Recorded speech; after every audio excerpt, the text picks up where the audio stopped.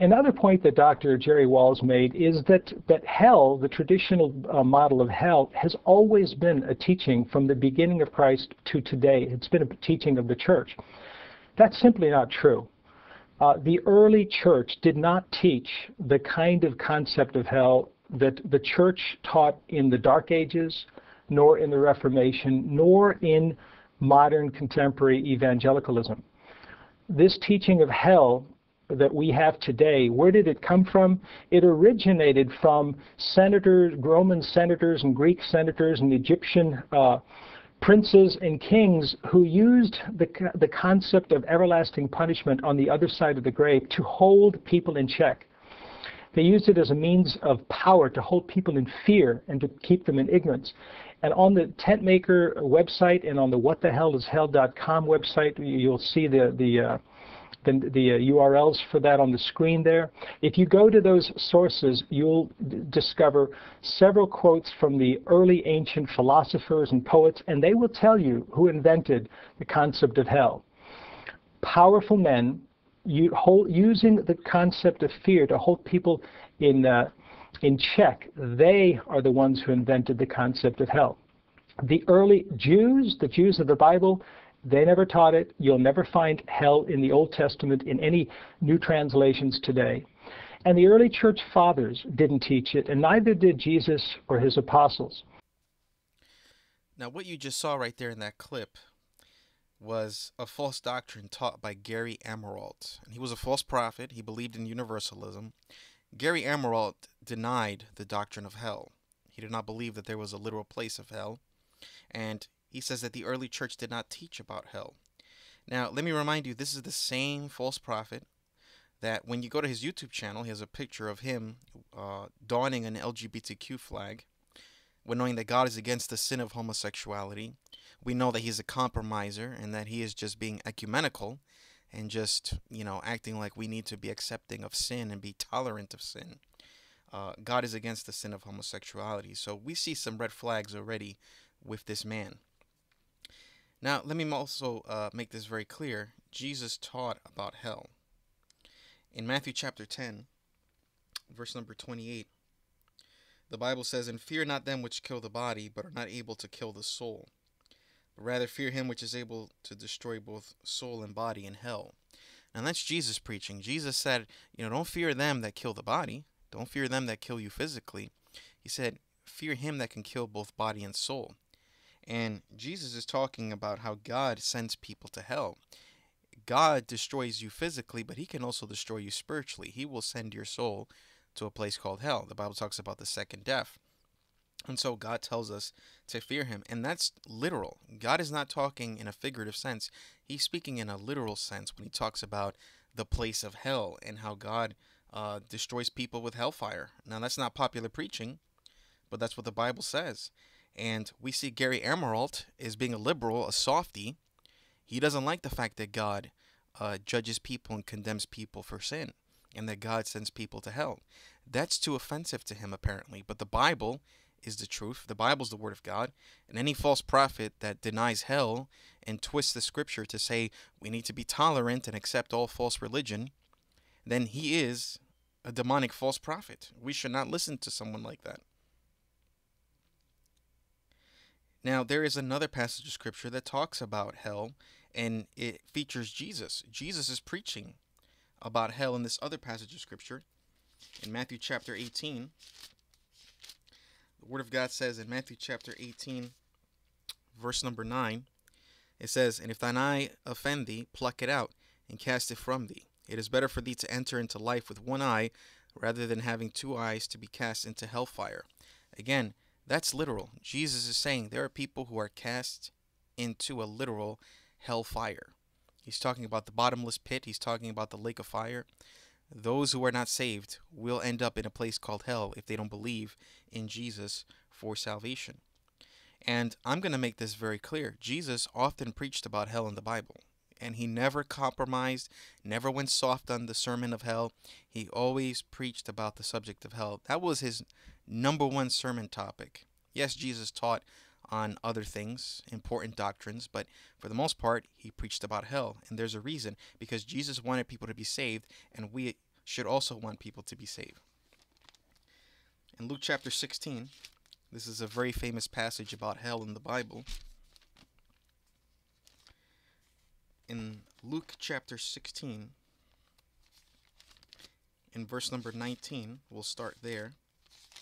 And you can turn there if you like, if you have a Bible. The Bible says in verse 19, there was a rich there was a certain rich man which was clothed in purple and fine linen, and fared sumptuously every day. And there was a certain beggar named Lazarus, which was laid at his gate, full of sores, and desiring to be fed with the crumbs which fell from the rich man's table. Moreover, the dogs came and licked his sores. So we have an actual story. This is not a parable. Jesus is talking about uh, real people here because he mentions names. Parables don't mention names. Parables are just spiritual lessons that Jesus uses to illustrate a spiritual lesson. But here, Jesus is talking about um, real, actual people. He mentions Lazarus. Lazarus is a beggar, he's poor, he's desiring food from the rich man.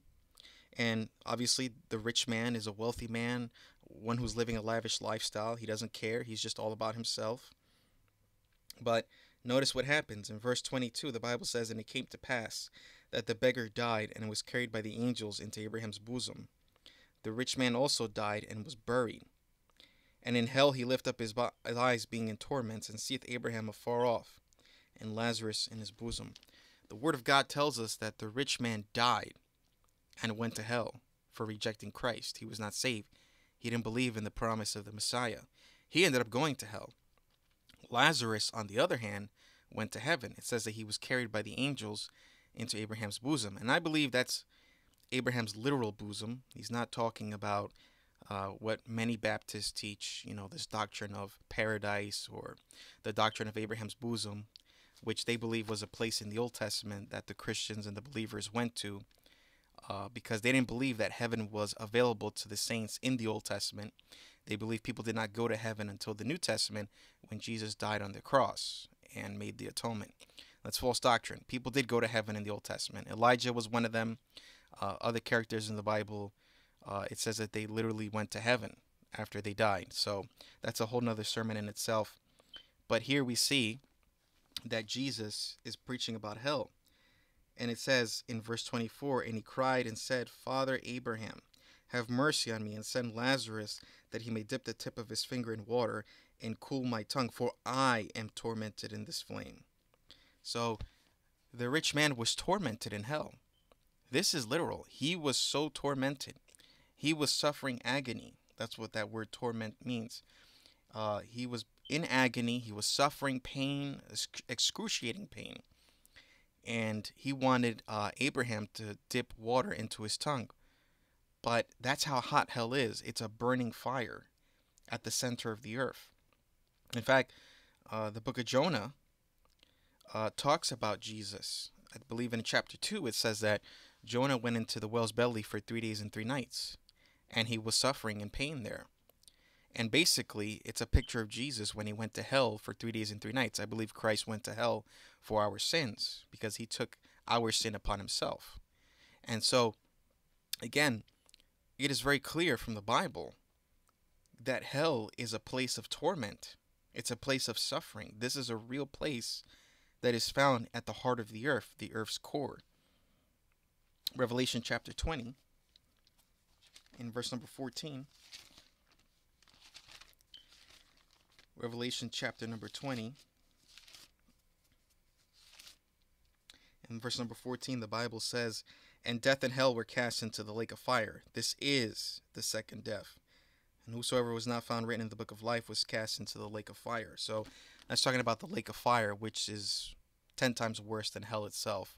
There's hell, which is the bottomless pit, and then there's the lake of fire, which comes after that. It comes uh, after the white throne judgment. So those who are not saved, those who do not believe on Christ, when the white throne judgment takes place, they will be cast into the lake of fire, which is much worse than hell. And again, lake of fire, that's a literal place. It's talking about a place of torment and anguish, a place of a burning fire that never ends. So Jesus clearly preached about hell. And yes, even the apostles preached about hell, because in Acts chapter 2, the Bible says that Peter preached about the prophecy of Jesus going down to hell after dying on the cross for our sins. After the resurrection of Christ, Peter was preaching on the day of Pentecost and he said that Jesus would again his soul would go to hell for us for 3 days and 3 nights. He suffered for us and he was in agony. And so Peter once again preached about hell in 2 Peter chapter 2 verse 4 because he said that the angels that sinned were cast down to hell and delivered into chains of darkness. The word of God tells us that one day these fallen angels will be judged as well. Even the apostle Paul preached about hell and judgment in 2 Thessalonians chapter 1 verses 7 through 9. Paul was talking about how uh, those who do not know God will be punished with everlasting destruction from the presence of the Lord. It says that God will take vengeance in flaming fire against those who do not obey the gospel of Jesus Christ. So the false prophet Gary Amirault claims that hell was a doctrine that the pagans and the Roman emperors invented in order to strike fear among their own people. Now, yes, the heathens did teach about hell. And yes, the pagans also stole from the Bible. That's why they taught hell. But they were not the ones who invented it, they stole it from the Bible. I don't have time to get into it, but if you study mythology, most of mythology borrows from the biblical creation story and other Christian teachings, but mixed with paganism. A lot of people accuse the Bible of borrowing from pagan myths, but that's not true. Pagan myths stole from the Word of God, which I'll talk about in the future. He also says that the Old Testament Jews never taught about hell. And that is a blatant lie from the pit of hell. Because Deuteronomy 32:22, which is the first passage in the Bible that talks about the word hell and the subject of hell, it talks about a fire kindled in God's wrath. It also mentions in the latter half of the verse that it will burn into the lowest hell. Yes, the Jews did preach and teach about hell in the Old Testament. That debunks the lies of Gary Amirault. The Bible mentions in number 16 the story of Korah and how he and his men were swallowed up by the earth and then brought down to the pit. That is talking about hell. God judged them for turning against the man of God, Moses, and they did go to hell. You may be asking, what is universalism? Universalism is a doctrine that teaches that all men will be saved. Universalism says that a loving God would not send people to hell. Some universalists even teach that there are many ways to God, and that is a damnable heresy. We know that God judges people based on their sin. God is going to judge the unsaved according to the law. That's what the law is there for. Catholicism and Universalism are both one and the same. Why? Because the word Catholic does mean universal. This is why the Pope is constantly pushing for a one world religion. Now, as a Baptist, I do believe that Christ died for all men. I am not a Calvinist. I do not believe in this idea of God picking and choosing who goes to heaven and who doesn't. I believe Christ died for all men. The atonement is universal. However, Hebrews 2 9 says that Jesus tasted death for every man. That is a fact. I'm not disagreeing with that. 2 Peter 3 9 says that God is not willing that any should perish, but that all should come to repentance. Amen to that. Praise the Lord. Christ wants all men to be saved. However, just because Jesus died for all men, that does not mean that people automatically go to heaven when they die. A person must believe in Jesus Christ to be saved, to receive eternal life. John 3:16 says that if we believe in Christ, we shall never perish but have everlasting life. The word believe in this context means to trust in or to rely upon. We must choose to depend on the gospel of Jesus for our salvation. We can't trust in our good deeds or some other way or we can't be saved. The Bible says in John 3:36 that if a person chooses not to believe in Christ, the wrath of God abideth on him. They remain dead in their sins and trespasses until they decide to trust in Christ for their salvation, for their eternity. Now, it's obvious that Gary Amirault was teaching a bunch of crap not found in the Bible, and that's what it is it's crap. For him to teach that all men can go to heaven even if they don't receive Jesus as their Savior is like saying Judas Iscariot went to heaven and he didn't. John 17 12 tells us that Judas Iscariot was called the son of perdition, and he was the same man who betrayed Jesus Christ. This same Bible verse reveals to us that he was lost. He was not saved. He went to hell. He was never saved to begin with. Why? Because he really didn't believe in Christ for salvation. He was a reprobate and an infiltrator. You might be wondering, are universalists saved? No, they're not. Why? Because they are not trusting in Christ for their salvation. They believe they're already going to heaven automatically without Him just because Jesus already died for all of humanity. And that is not salvation. Yes, Christ died for the whole world, but you need to receive His atonement by faith, or else you can't be saved. The fact that they believe that there are many ways to get to God shows that they are not saved. Christ said in John 14, 6 that He is the only way to the Father. Without Christ, you can't make it to heaven. Christ is the only mediator. Christ is the only door. There's no other door but Christ. Now, as far as Gary Amirault and his eternity, he was not saved. He didn't believe in a literal hell, nor did he believe that Christ was the only way to the Father. He was a false prophet. He was a false teacher, and you can huff and puff all you want. I'm telling you the truth because according to John 3:16 and John 3:36, this man was not saved. He went to hell. Christians, listen up. Stay away from universalism. Let's keep preaching against it because this is the religion that the Antichrist will set up one day in the Great Tribulation. And many people will be deceived. Many people will worship the Antichrist. Listen, we need to keep preaching against ecumenicalism and show people that they need Jesus to be saved. That there's not more than one way to heaven, but that Christ is the only way. God bless you all in Jesus' name.